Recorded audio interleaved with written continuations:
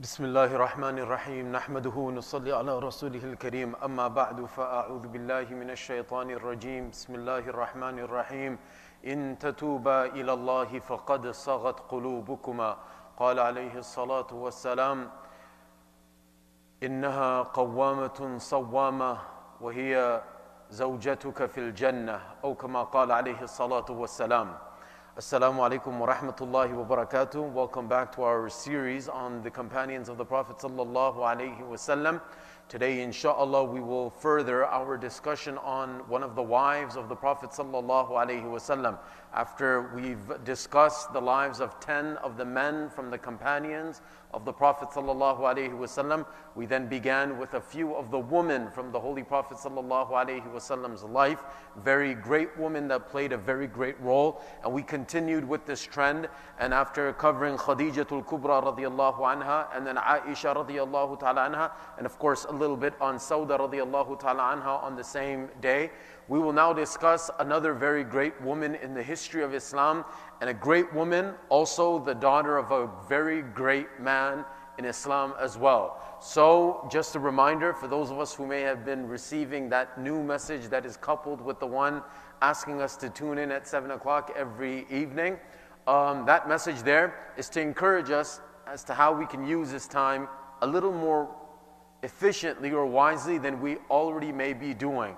Alhamdulillah, with all the Quran that we're reciting and the salat that we're performing and the adhkar that we're completing, the du'as that we read for our protection, and all the other good. Some of us may be taking classes online, some of us may be teaching, some of us, whatever it is that's keeping us busy.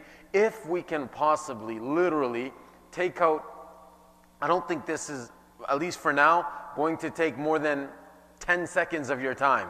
10 seconds of your time is what's being asked of you to learn one more name of the beautiful names of Allah subhanahu wa ta'ala. So we learned Ar-Rahman yesterday and today we learned Ar-Rahim. Hopefully we can continue like this, learning, memorizing one new beautiful name of Allah every day and then 98 days from now we can have a little virtual jalsa, a little, a little ceremony online because we're not allowed to get together. No, five is the maximum, and even that, we're advised to stay at home, stay safe, save lives. So, anyways, every single day, if we learn one of the names. So, I've been applying this to my students for the last so many years. When I sent this message out to one of them, he's become a scholar now, mashallah. He gives his own talks and he just spent time in the, in the subcontinent. He's just come back recently. He messaged me, he said, Some good news for you. I said, What? He said, I already memorized these when you taught me these in grade seven. He's become a scholar now. He's graduated from school. He's moved on to other chapters in his life. In grade seven, when I had applied the same thing that I'm applying now to, I mean, with all due respect to elderly people, we have doctors in that broadcast list. We have elders. We have, mashallah, very great people. But I applied this when he was in grade seven. This is probably around 10 years ago. And it worked, alhamdulillah. Till this day, he knows all the 99 names of Allah. So we should try every single day, learn one name. It won't be too much. 98 more days from now, sorry, 97, we can have a little virtual jalsa online. So coming back to the Sahaba series now, the very great woman under discussion today is a woman by the name of Hafsa binti Umar ibn al-Khattab radiyallahu ta'ala anhu. Hafsa radiallahu ta'ala anha. We know from yesterday, oh, by the way, we've got these friends that send out these messages and they look for every little detail. I mean, I appreciate the fact that they listen, but they listen very carefully. So, one of the brothers, one of the friends, he messages me after the talk on my way home. He says, Brother, you mentioned in one narration that there were nine things that Aisha radiallahu ta'ala had been given preference to over the other wives. I said, You're absolutely right, and I'm not going to lie, I actually forgot the tenth one. What was the tenth one? She says, Aisha radiallahu ta'ala said that while all the other wives of the Prophet wasallam used to enjoy one day and one night when it was their turn with the Prophet wasallam, I, said Aisha, used to enjoy two days and two nights with the Prophet. Why was this, of course? Because Sauda radiallahu ta'ala anha, who was more elderly, she had given up her turn voluntarily to the Prophet ﷺ for Aisha radiallahu ta'ala anha. This is why I used to get two nights and two days with the Prophet ﷺ, while all of the other wives used to get one day and one night. And regardless, Aisha radiallahu ta'ala anha was a very great woman indeed. Khadijatul Kubra radiallahu ta'ala anha was a very great woman indeed. And today, Hafsa radiallahu ta'ala anha. Now imagine the father, Umar ibn al-Khattab radiallahu ta'ala anhu. The mother, Zainab. Zainab binti Mad'un radiallahu ta'ala. These are the early comers into the fold of Islam.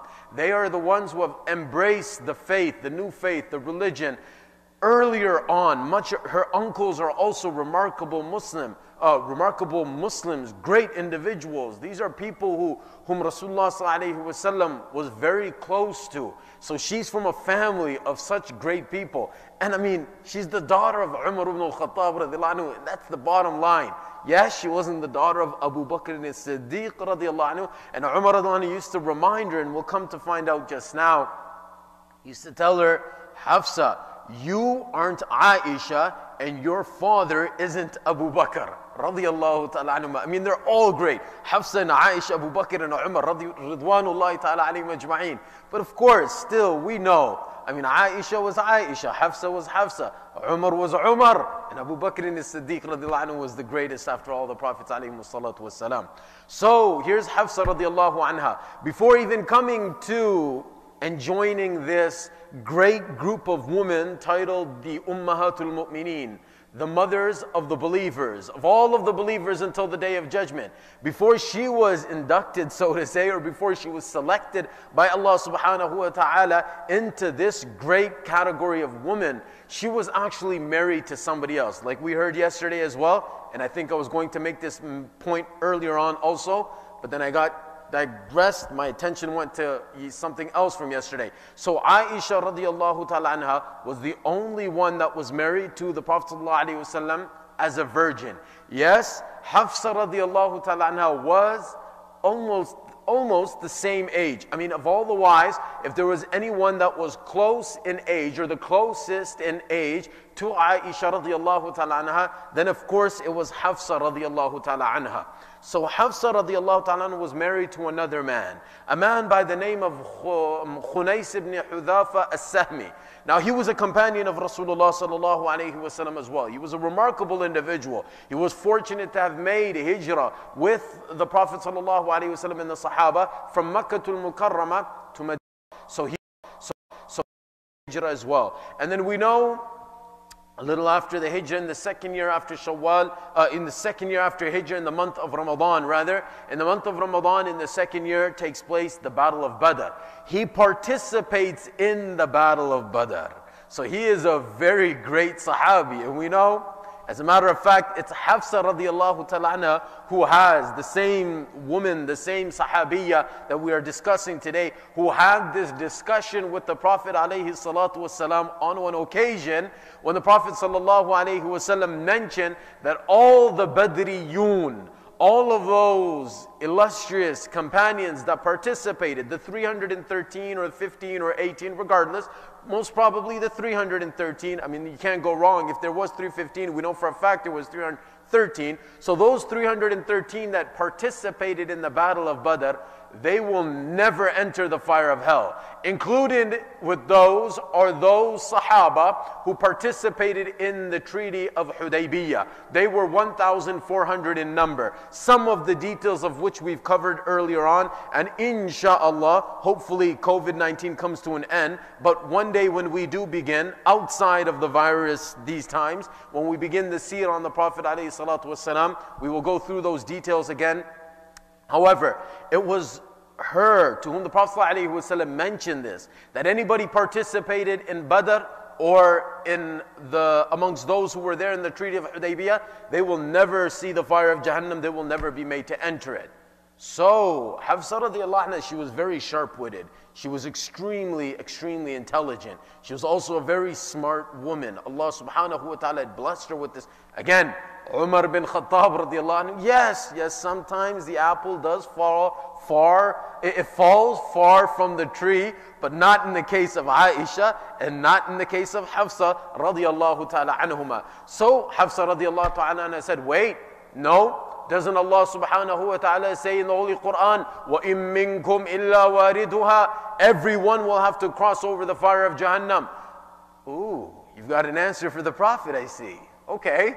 So the Prophet ﷺ then replied, Okay, Hafsa, ثُمَّ نُنَجِّ الَّذِينَ اتَّقَوْا وَنَذَرُ الظَّالِمِينَ فِيهَا جِثِيًّا But as for those who did what Allah wanted them to do, and they refrained from doing what Allah didn't want them to do, in other words, the muttaqun, that was the definition that I've given to you now, which was given to us by Hassan Basri rahimahullah, a great, the sage of his age and a great giant scholar of Islam. This was his definition. At-taqwa, to do what Allah wants you to do and to refrain from doing what Allah doesn't want you to do. In a nutshell, in a very simple layman's terms and definitions, this is taqwa. Do what Allah wants, don't do what He doesn't want. So for those who had taqwa, Allah subhanahu wa ta'ala says, We will save them. They will be saved from going into Jahannam. And those others, the others, those who were wrongdoers, they will be left and they will come on their knees on the day of judgment. May Allah subhanahu wa ta'ala save us and make us amongst those those who are saved from the fire of Jahannam.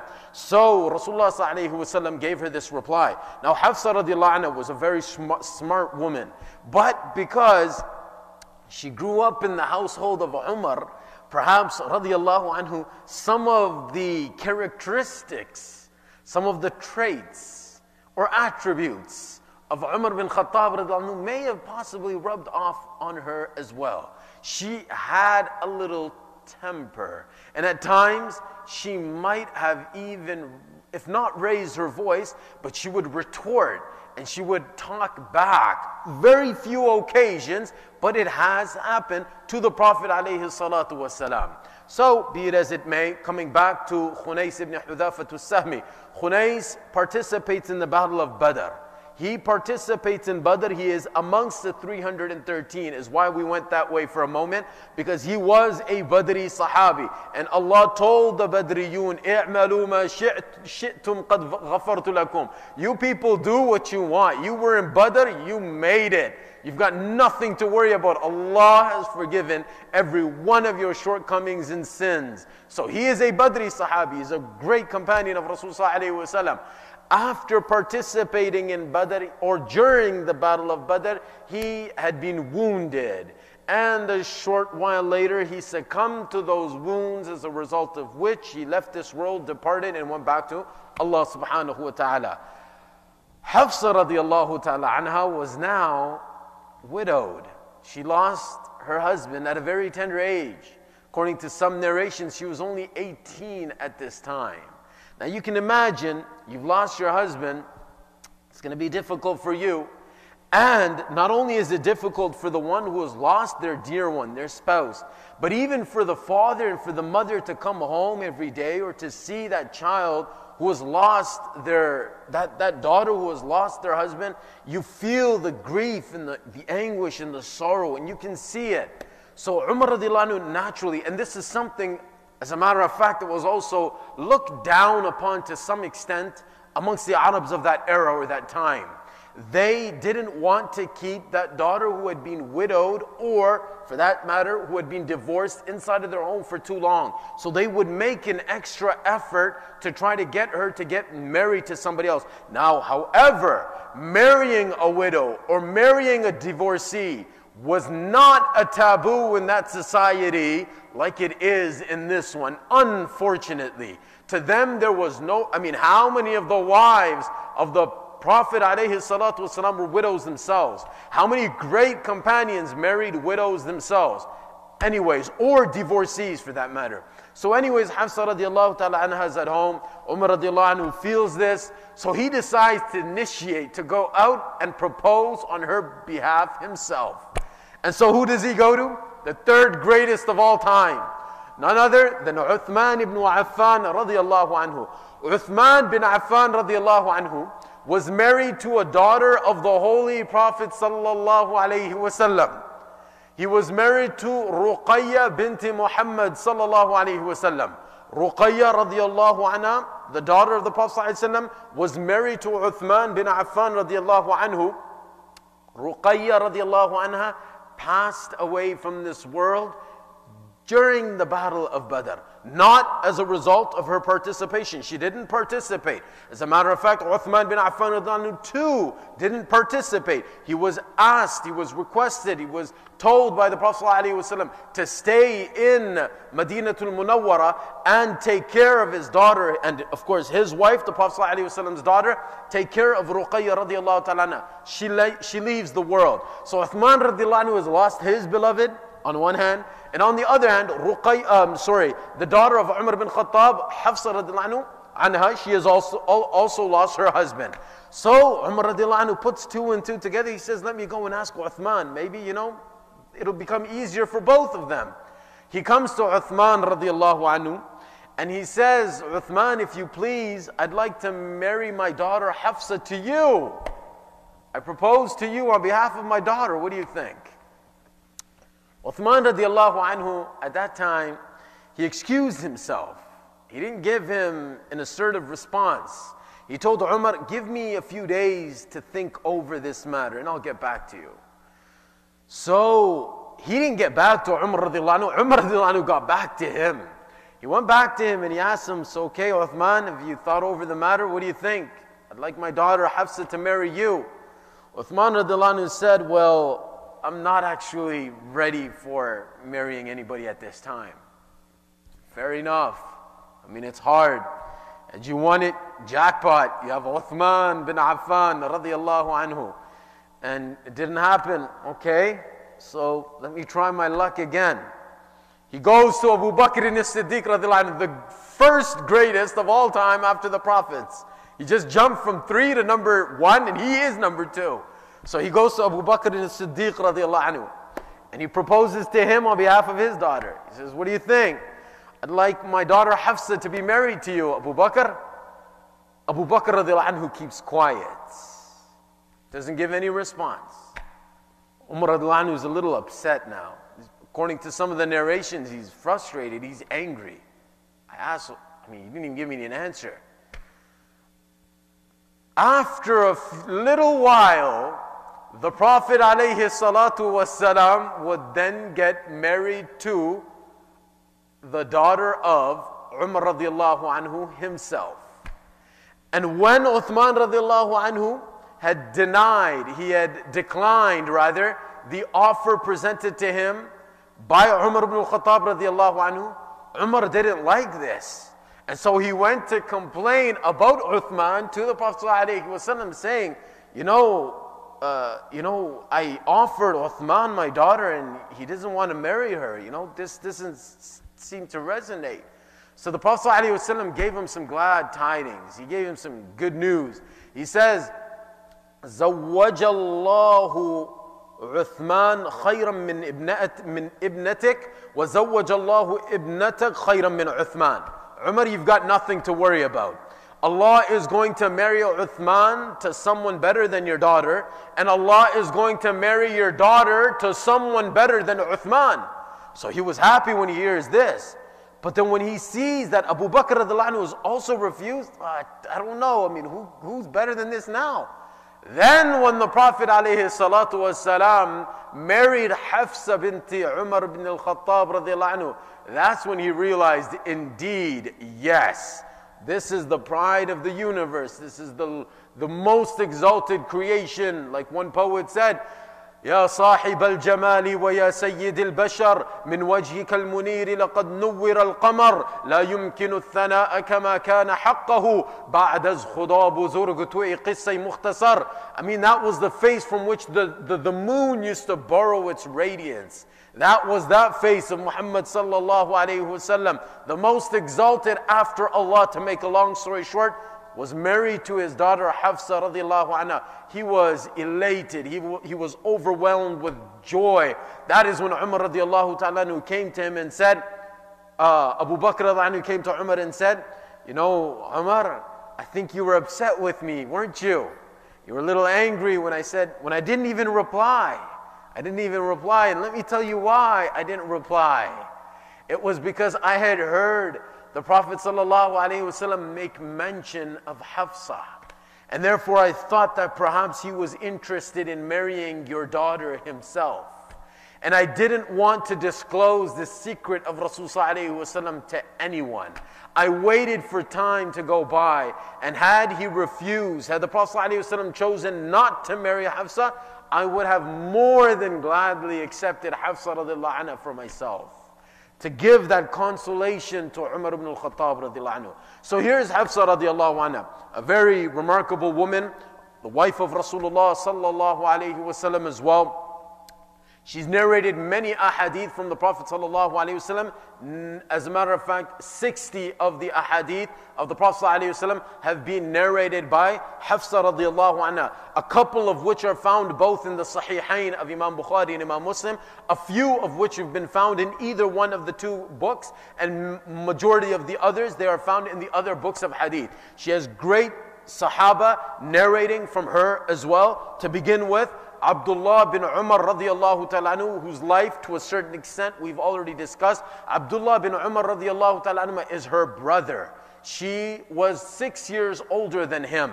So Umar radiallahu ta'ala anhu had both um, as, uh, uh, Hafsa radiallahu anha as well as Abdullah bin Umar radiallahu ta'ala anhu from his wife Zainab bint Mad'un anha.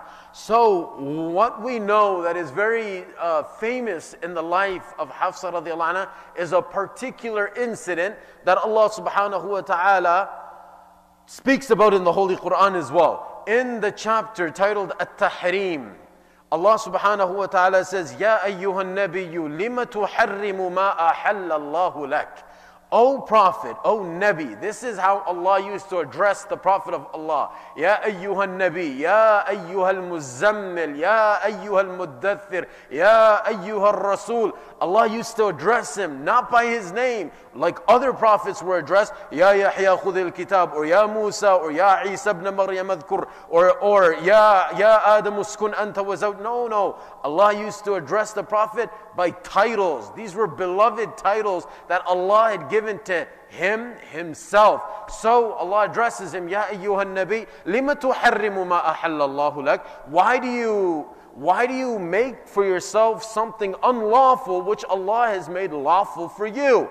What is this? Or what is the back? What is the story behind the, the, the, revelation behind this particular verse that was revealed? So the Prophet ﷺ, he used to visit his wives on a daily basis just for he used to just check up on every single one of them after Salatul Asr. This was his practice. And on one occasion, when he went to check up on Zainab radiallahu ta'ala anha. Zainab radiallahu ta'ala anha. Obviously, another wife of the Prophet sallallahu wasallam. He would go and spend, just check up on her, and he would sit with her for a short little while, while and Zainab radiallahu anha would prepare a specific drink for the Prophet sallallahu wasallam, which of course he enjoyed to partake of. Now, in enjoying this drink with Zainab radiallahu sometimes this would take a little longer than he expected it to take, and this would thus take out time from the other wives of the Prophet. So this this drink particularly was made from honey, and this Zainab radiallahu ta'ala anha would make this drink for the Prophet after which he would go and visit the other wives as well. Aisha radiallahu ta'ala anha's jealousy kicked in, and she decided to conspire and hatch a little plan to try to get the Prophet ﷺ to stop drinking that and to stop spending so much time when he goes to check up on that wife. So he calls, she calls, Aisha radiallahu ta'ala makes this plan with Hafsa radiallahu ta'ala anha. And she tells Hafsa, and in according to some narrations, we find that Sauda radiallahu ta'ala was also a part of this plan. So Aisha radiallahu ta'ala anha tells them, what we're going to do is that when the Prophet ﷺ comes to meet us, after he's already met Zainab anha and partaken of that, that juice or that, that drink that she prepares for the Prophet ﷺ, we'll mention to him that it seems like he must have eaten from a, a specific, a certain flower or an herb, a plant by the name of maghafir. Now, this plant or this herb, it had a, a, a slight a, a smell to it, a foul smell to it. And of course, the Prophet ﷺ was very particular in smelling not just good, but the greatest, the, the greatest scent would emanate from the Prophet ﷺ, his mouth, his body at all times.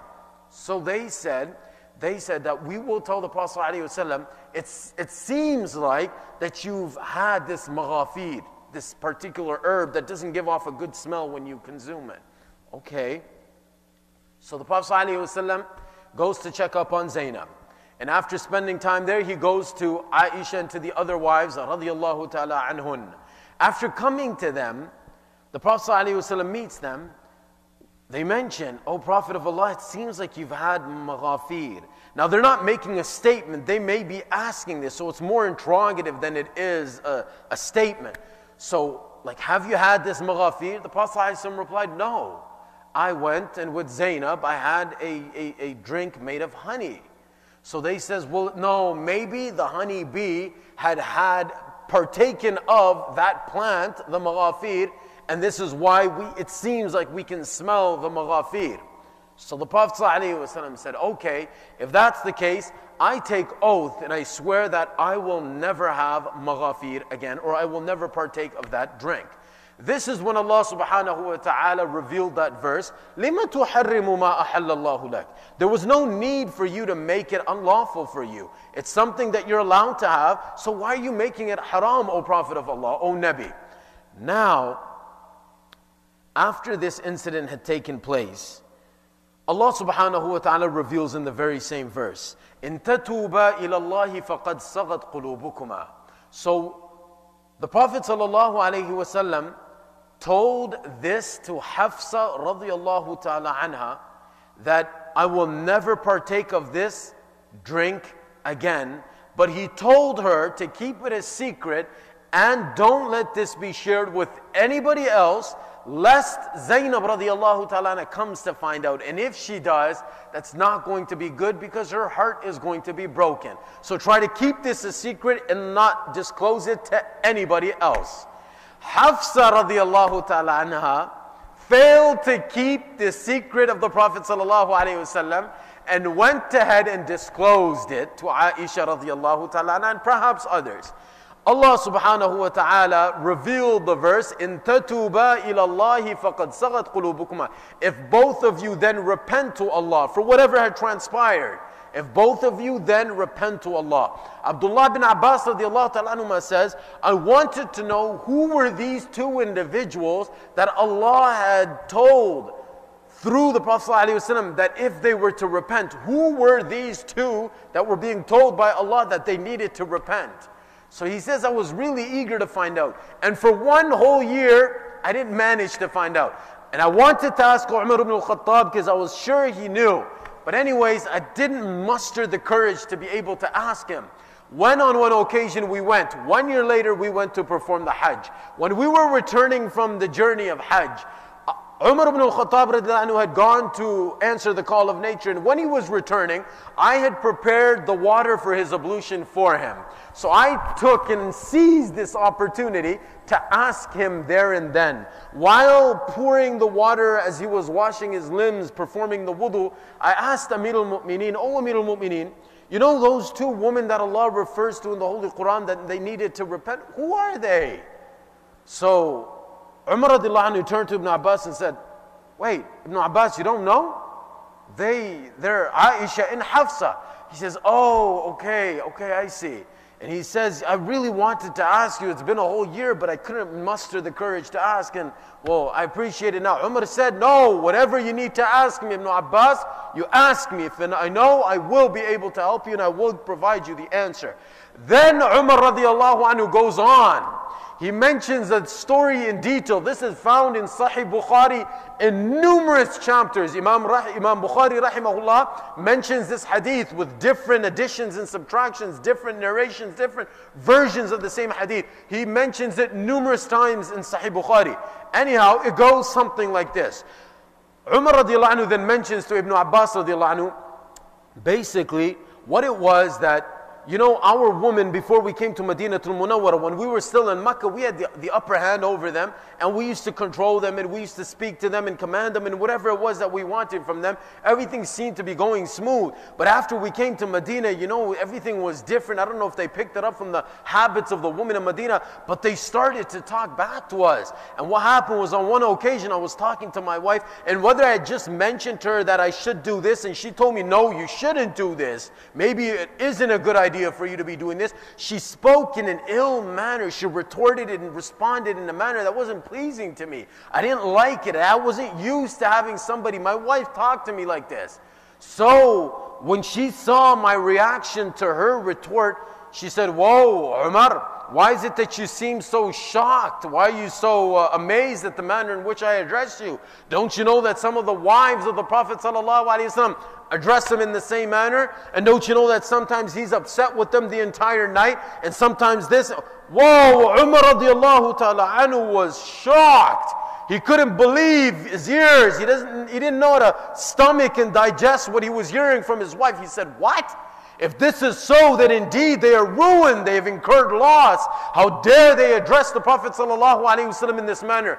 At once he goes to his daughter, Hafsa radiallahu ta'ala anha. When he comes to Hafsa, he says, Oh Hafsa, is this true that the wives of the Prophet ﷺ, including you, they address him in a manner like this?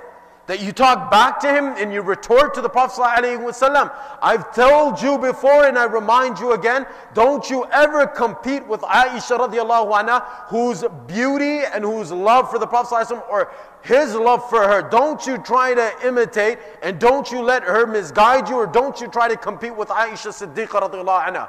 Umar radiallahu anhu couldn't understand Anyways, he goes on with the story and then he mentions that, you know, I had this Ansari brother of mine who was from a particular tribe. Me and him used to take turns. He narrates this to Ibn Abbas. We used to take turns going to the Prophet. ﷺ. So one day he would go to the Prophet, he'd come back to me, and he would tell me exactly everything that he had learned and so on and so forth from the Prophet ﷺ regarding the deen. And the next day I would go and I would spend time in the company of the Prophet ﷺ, and I would learn from him whatever it was, and then I would share this with my Ansari, with my friend. But on this particular occasion, it was his turn. He was with the Prophet ﷺ. And one night when I was at home, he came knocking in a very strange manner. It was a very hard knock. So I went to go and answer, and I, I asked him what, it, what was wrong. And at that time, there was a people of Ghassan whose attack was inevitable. We feared that the people of Ghassan might attack us at any time. So this was always in the back of our minds. I thought perhaps this was news to tell us that Ghassan was about to attack. So when he came to me, he said something great has happened. I asked him, what is it? Have the people of Ghassan attacked? He said, no, something worse than this. I asked, what could possibly be greater than this? He said, the Prophet ﷺ has divorced his wives.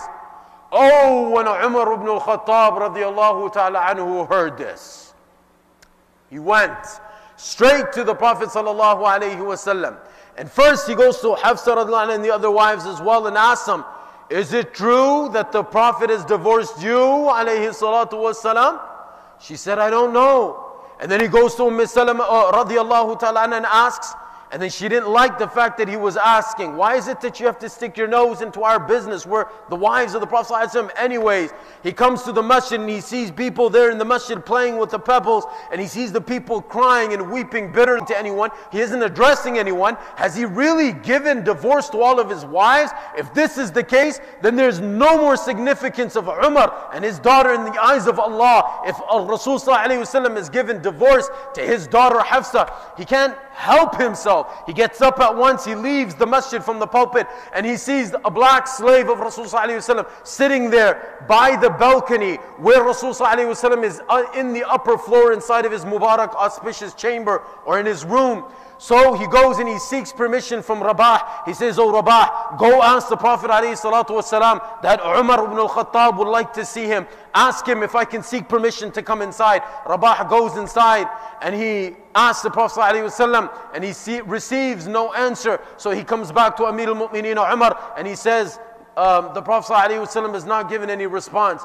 Umar goes, Rabah, go back to the Prophet ﷺ and ask him yet a second time and tell him that Amir al-Mu'mineen or tell him that Umar, sorry, Umar seeks permission to come in. Ask him on my behalf. Rabah goes the second time, comes back with nothing. He goes back the third time, nothing. When Umar radiallahu anhu is about to get up and leave, Rabah returns and says, Oh Umar, he is welcoming you. He is asking you to come inside. Umar radiallahu anhu that comes inside, inside of the Mubarak Hujra or the chamber which Rasulullah is at the time when Umar anhu comes inside, he's still standing.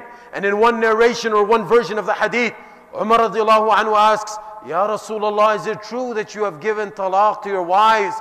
Rasulullah replies in the negative. He says, No, oh Umar, no. Umar radiallahu anhu then says three times, Allahu Akbar. Allahu Akbar, Allahu Akbar. And then the hadith is lengthy in which he mentions the entire story that I have mentioned to you just now. The entire story. He mentions the entire narration. He mentions everything, the details of which transpired inside of his own home. And then his going to Hafsa radiallahu anha and asking her, and then speaking to Umm Salama radiallahu anha and asking her, and then his coming to Rabah and then asking him and seeking his permission to come see Rasulullah. He mentions all this, and then after he's a little calm and he sees that the signs of disapproval or the signs of disappointment on the Prophet ﷺ have subsided, Umar anhu then sits down. And when he sits down, he says, Ya Rasulullah, you know, Kisra and Qaisar, the, the empires of Persia and Rome, they have all of this good that Allah has blessed them with, all of these riches and wealth. Why don't you make dua to Allah? Allah bless us with the same. When the Rasul ﷺ hears this from the mouth of Umar, he gets up. He was lying down at this time. He gets up at this time, and the from the straw mat on which the greatest body that the world has ever seen was lying down. These marks were visible on his body, and then he has just a pillow made of some fibers on which he was leaning. Rasulullah gets up at once and he asks, Afi shakkin anta ibn al-Khattab? Are you still in doubt regarding this matter, O Ibn al-Khattab? Why is it that you do, do you not understand, O Umar? أولئك قوم عجلت لهم طيباتهم طيباتهم في حياتهم الدنيا Those are people Allah has given them all of their goody goodies in this world whatever riches whatever wealth pomp glamour that they have Allah has given it to them in this world نحن قوم عجلت لنا طيباتنا في حياتهم الآخرة في حياتنا الآخرة and we are a people that Allah has kept it for us in the life hereafter are you not pleased with this O Umar Umar radiallahu anhu then asked Ya Rasulullah, make dua, Allah subhanahu wa ta'ala forgive me. Anyhow, the story goes on, but this is a little bit about the wife of Rasulullah sallallahu alayhi wasallam, who was also very close to Rasulullah sallallahu alayhi wasallam. Time, we've actually gone over time today, but it's fine. This is the same individual when Rasulullah sallallahu alayhi wasallam left this world.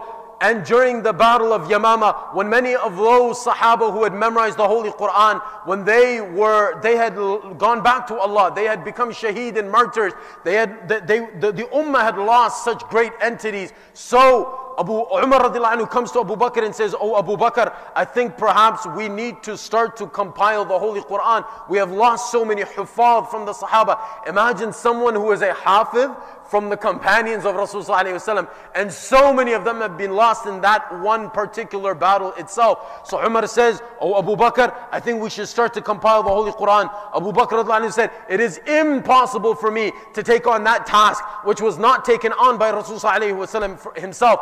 Umar insisted and he continued to mention this. He continued to persuade Abu Bakr until finally Allah had inspired Abu Bakr with, with the same feelings. So then Abu Bakr and Umar radiallahu anhuma, they both went to Zayd bin Thabit. Mark the name, Zayd bin Thabit radiallahu anhu. And they mentioned to him, O Zayd, perhaps we want you, someone who used to, was a scribe during the time of Rasulullah You were honored to write wahi and revelation when the Quran was being revealed. You were appointed by Rasulullah You have a remarkable memory. He had mastered the Hebrew language for Rasulullah because the Jews used to deceive Rasulullah. He asked Zayd to learn the language.